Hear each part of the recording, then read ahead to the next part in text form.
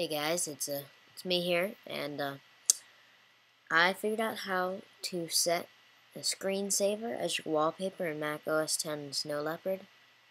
And uh, just to show you that I'm not joking here, oops, wrong button, about this Mac.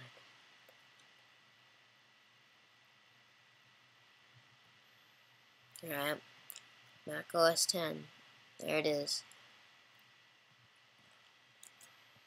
Now what you're going to want to do is first off, go into System Preferences, Desktop and Screensaver, Screensaver, and then set whatever you want to be your wallpaper. I figured out that OpenGL or 3D does not work with this terminal, terminal uh, workaround hack, whatever you want to call it.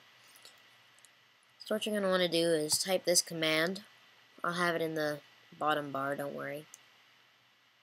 And then just press enter. And there it is.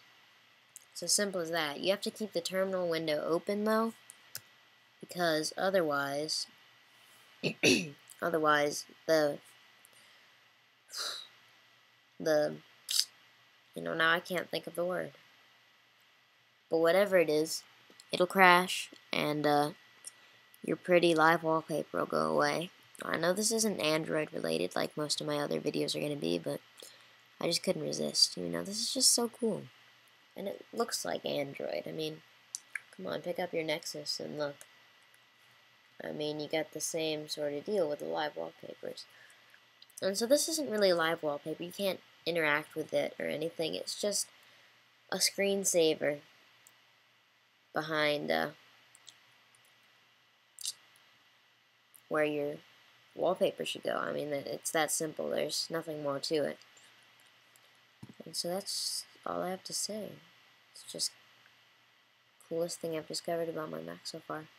Maybe not really, but it's pretty awesome.